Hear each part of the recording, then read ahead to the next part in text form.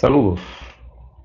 En este video vamos a continuar con el tutorial sobre el banco de trabajo imagen, pero además voy a aprovechar este video para eh, presentarles un flujo de trabajo que estoy usando y que me resulta bastante útil.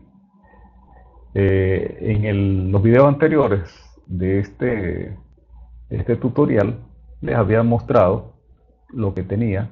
¿Sí? Este, estos son un conjunto de, objetos que utilicé para el desarrollo de mi, del proyecto.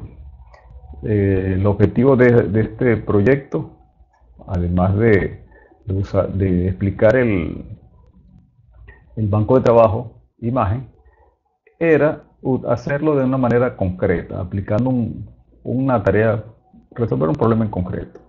Y el problema particular era el de el de mm, imprimir en una impresora 3D el, una pieza que tenga estos tres botones, ¿sí? que sea funcional. Y bueno, la hice y me, me funciona como quiero. Estos tres botones, que, estos tres botones que se ven aquí están en una sola pieza. Originalmente, cuando, cuando compramos este control, esto estaba hecho en un material flexible. Y bueno, yo no tengo material flexible en este momento y lo hice con plan. Y está funcionando muy bien. Está funcionando como quiero, justo como quiero. Este, bueno, el objetivo es llegar a, esta parte, a este, hacer esta pieza conectarla, eh, colocarla y que sea funcional. Bueno, vamos a, dar detalles. Todos los detalles que, yo tengo acá los voy, a, presentar de tal manera que si alguien quiere reproducir estos botones o cualquier otro, bueno, lo puede hacerlo. Eh, esto es un poco de ingeniería inversa, por decirlo así, que se está haciendo aquí, una ingeniería inversa muy sencilla, pero ilustrativa porque esto luego se puede usar en proyectos más elaborados. Eh, el proyecto tiene este conjunto de, de objetos.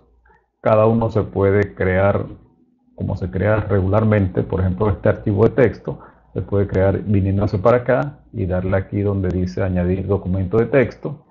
Esta, este es un grupo, se puede crear por acá Aquí tenemos una hoja de cálculo que debería, una forma es irse aquí hasta a este banco de trabajo, hoja de cálculo y después darle a crear.